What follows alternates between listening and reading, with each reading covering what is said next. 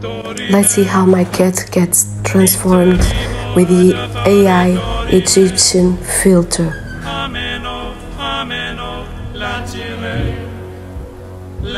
Wow, beautiful.